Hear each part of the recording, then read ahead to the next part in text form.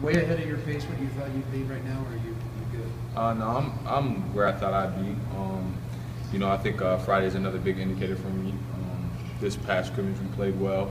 Uh, you know, I did my thing. I felt good out there. Um, but like I said, just rehabbing, man, staying at it. Um, and uh, this Friday is, uh, is another big indicator for me. What were some of the, the, how intense did you rehab? I mean, how much did you do beyond what you were supposed to be doing? Every day. I mean, you know, stretches at home, coming in in the nighttime, getting the cold tub. That's not something that's a requirement, you know, but in a sense it is too.